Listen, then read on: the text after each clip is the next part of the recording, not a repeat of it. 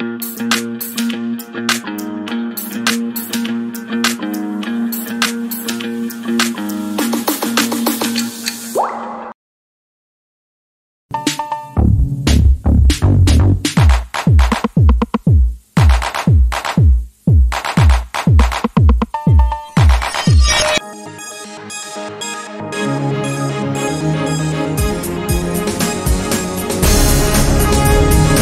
Well, the story of the stampede that happened at Freedom City is still making headlines in the media. And uh, the latest update on this story is that unconfirmed reports have indicated that there are more than 10 people who died in that unfortunate incident.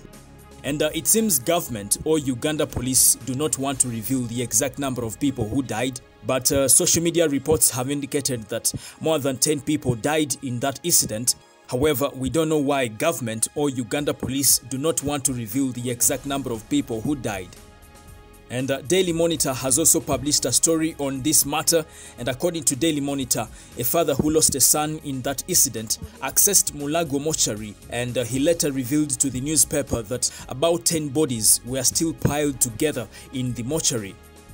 Uh, yesterday, the Vice President of Uganda, Jessica Alupo, was at Freedom City where this incident happened and the government has contributed 5 million to each family that lost their loved one.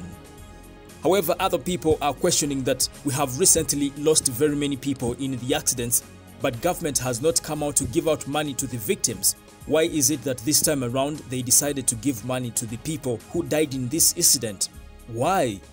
So basically, a lot is still unfolding on this story, and uh, I'll keep you posted right here on The Buzz UG.